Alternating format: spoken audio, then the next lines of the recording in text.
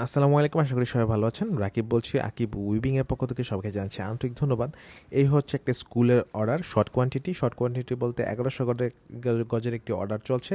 খুবই top notch কোয়ালিটির কাপড় স্যাম্পলটা ছিল কিন্তু খুবই লো কোয়ালিটির কিন্তু আমরা যে কাপড়টা করতেছি, সেটা হচ্ছে সিডব্লিউসি সুতার। ভিয়েতনামের সুতা, খুবই ভালো কোয়ালিটি কম কম প্যাকের মধ্যে যত টপনচ কোয়ালিটি আছে, সেই টপনচ কোয়ালিটির সুতা দিয়ে কাপড় তৈরি করে দিচ্ছি।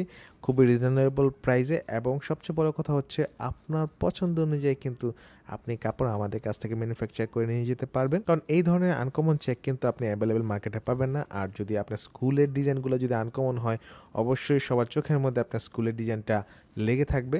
তো এরকম আনকমন কাপড় নেওয়ার জন্য সরাসরি আমাদের সাথে যোগাযোগ করতে পারেন। কারণ আমরাই দিচ্ছি টপনচ কোয়ালিটির আনকমন সবচেয়ে সুন্দর, ভালো কোয়ালিটির কাপড় তৈরি করে আপনাকে। ধন্যবাদ। আসসালামু আলাইকুম।